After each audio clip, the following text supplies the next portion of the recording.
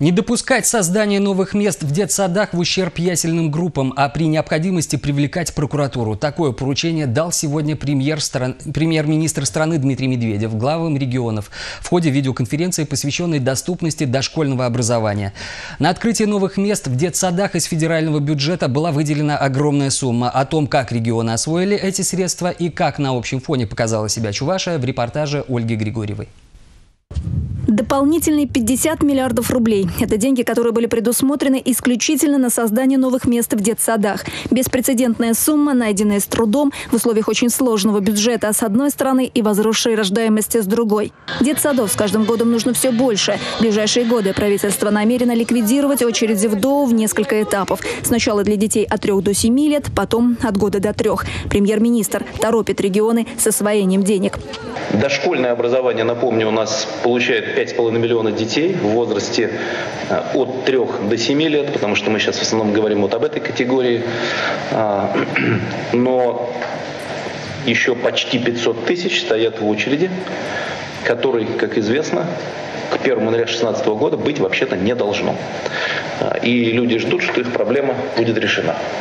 Результат уже есть. 220 тысяч новых мест в садиках. Результат колоссальный, подчеркивает Дмитрий Медведев, но этого недостаточно. В 20 регионах страны все еще ждут возможности пойти в детский сад более 10% детей. Ситуация с очередностью и решением проблемы на местах разная, как, впрочем, и с освоением денег. Это, разумеется, не самоцель, главное – результат. Тем не менее, на общем фоне Чувашия в десятке лидеров наряду с Ульяновской и Амурской областями, Карачаево-Черкесией и другими. Республика получила 600 615 миллионов рублей из федерального бюджета вложила и собственные средства. У нас на 1 октября текущего года 302 ребенка в очереди. Это практически, можно сказать, текущая очередь.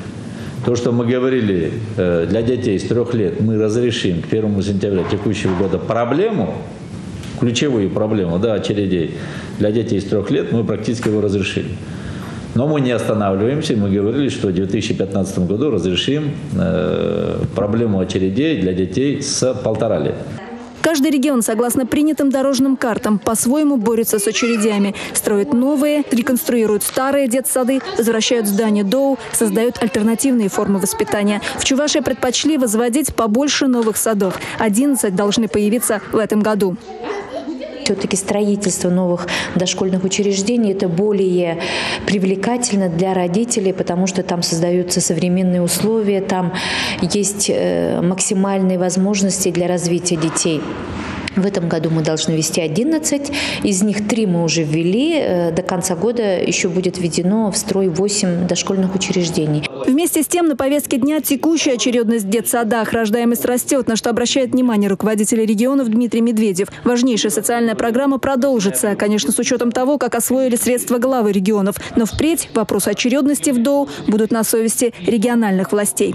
Основное бедствие, связанное с детскими дошкольными учреждениями, мы преодолеем совместно в те сроки, которые я вот, и мои коллеги неоднократно объявляли. Но будущее стройки, будущие детские места, места в детских дошкольных учреждениях, все это должно идти в плановом порядке, без авралов э, и без обращения в там, Москву, к федеральному бюджету, дайте денег на детский сад. Я надеюсь, это все понимают. Вот мы сейчас огромные деньги на это выделим, все вместе с вами э, эту программу доведем до логического завершения, все построим, дальше все уже вопрос вашего хозяйства. Ольга Григорьева, Андрей Шоклев, Республика.